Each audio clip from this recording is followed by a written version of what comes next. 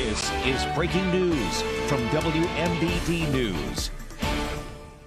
Well, breaking at 3 of new developments in the financial struggles of Peoria's public television station, WTVP.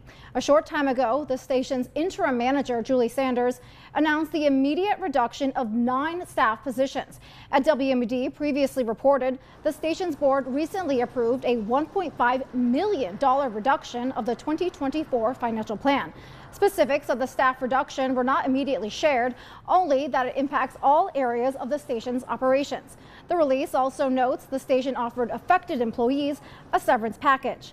In a statement, Sanders says, in part, this is not an easy decision. However, it's a necessary step to ensure the long-term sustainability of WTVP PBS.